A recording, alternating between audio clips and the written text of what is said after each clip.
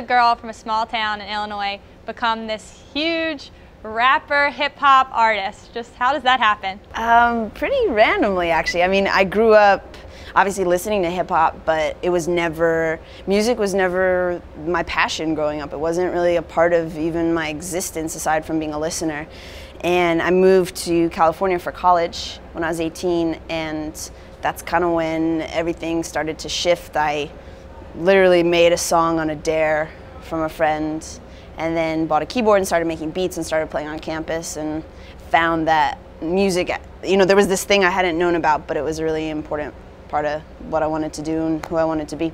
Fast forward now, last week you released your new EP, What If It Is? Yes. Just talk about that a little bit. Yeah, so I've been I've been putting out, uh, you know, I write a lot of music and, and, love to put out in different ways. I had a mixtape called West Ghost that came out uh, this spring, and then I wanted something for the summer that was like a little bit more up tempo, and this tour was happening, so uh, something to kind of um, to have on the road and sell. But I think you know the title "What If It Is" sort of conveys the the essence of it, which is that it's it's sort of not within the boundaries of any one genre. It's sort of always crossing over, and I think that's that's always been you know my style and the way I operate, and really kind of making music without any any sort of precedent. So it's really like, yeah, what if it is this or that or anything or nothing or everything. Um, but yeah, no, I'm super proud of it. Throughout your career, has there been one specific moment or experience that has stood out above all others? So, you know, I'm, I'm originally from outside Chicago, but my musical home base is San Francisco. And I think for me, a huge moment was my first headline show in the city, you know, because I'd always been like the random opening act. Uh, but my first headline show in the city uh, and just seeing like people besides my friends show up, which was, or, or random drunk people stumbling in, uh, come to that. I think it was, for me, even though it was a tiny victory, it was, you know, I was, I was playing at a venue where I go to see artists that I, you know, think are cool and, and respect. So it was, it was nice to be among their company.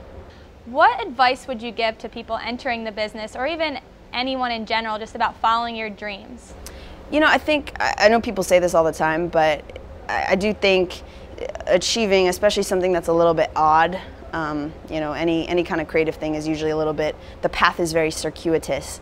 But I think, you know, more than anything, everyone I know who's really succeeded and really doing what they, they want to do, um, they've just persevered. I, I, think, honestly, you never know when the opportunity is going to come or when someone's going to care or when one of the five people in the audience is someone who could change your life potentially. Um, and I think if you approach every situation with, like a really strong work ethic and a lot of respect for the other people involved because everybody's probably trying to do something. Uh, I think to me that's like the common theme among everybody I know who's really who's really kind of done well and that that I look up to. Great. Well, thank you so much. We yeah. had a great time talking. Oh, thanks for having me. Good luck tonight. Thank you.